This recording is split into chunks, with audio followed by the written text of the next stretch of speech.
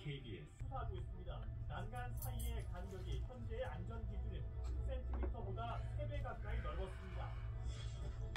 대구 경북 신공항과 광주 군공항 특별법의 동시 통과를 기념하는 대구시와 광주시의 행사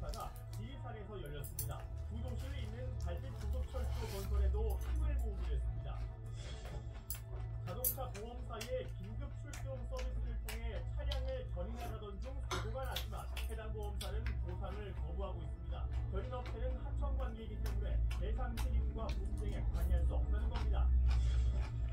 최근 경북 북부 지역의 아침 최저 기온이 영도 안팎으로 떨어지면서 과수농가에 저온 피해가 발생하고 있습니다. 수정률이 떨어진 데다 냉해까지 겹치면서 농민들의 시름이 깊어지고 있습니다.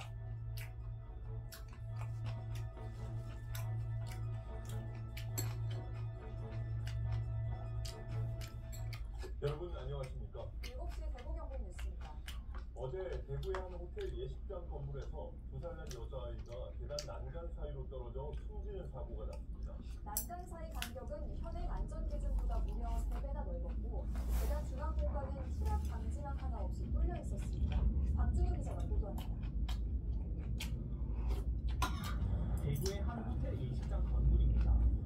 어제 오후 1시 50분쯤 두살 여자아이가 3, 4층 계단 난간 사이로 떨어졌습니다. 20m 아래 지하 1층까지 추락한 아이는 병원으로 옮겨졌지만 숨졌습니다. 사고가 난 계단은 나선형으로 가파르게 이어집니다. 계단 중앙 통로는 추락 막은 안전장치 하나 없이 뻥 뚫려 있습니다. 현재 난간의 등속 성인 남성 총 1명을 불정했습니다. 사고가 난 계단 난간 사이는 현재 안전 기준인 10cm보다 3배 가까이 넓습니다. 건축법상 실내에 설치되는 난간의 간격은 10cm 이하여야 합니다. 하지만 이 건물은 해당 기준이 만들어지기 두 달 전 건축 허가 신청을 해 적용 대상이 아니었다는 게 관할 구청의 설명입니다.